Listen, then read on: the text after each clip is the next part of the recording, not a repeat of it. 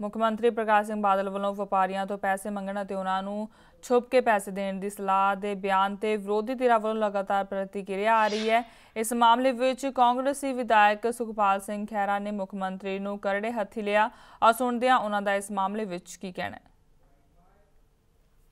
ये बादल साहब का चेहरा बेनकाब हो गया ये काफी सालों से इलेक्शंस पैसे के बल पर जीतते हैं और अब कल जलंधर में व्यापारियों के सामने टेलीविज़न मीडिया के सामने पकड़े गए। इन्होंने बोला, आप खुद कि इलेक्शन कमीशन की लिमिट तो सत्तर लाख है, लेकिन हम लोग खर्चा करते हैं, बहुत ज़्यादा करोड़ों रुपए चाहिए, हमको बहुत ज़्यादा पैसा चाहिए। और उनको, उनसे बोला कि, आप सीक्रेटली हम, हमको फंड के। इसका मतलब ये सारा नंबर दो का पैसा इलेक्शन में पंप करेंगे, वोटें खरीदेंगे, और इलेक्शन की सारे प्रोसेस को, इलेक्टोरल प्रोसेस को पोल्यूट करके इलेक्शन जीतेंगे। इन्होंने आप स्वीकार कर लिया है। और बड़े असर से हम लोग कह रहे हैं कि बादल एंड कंपनी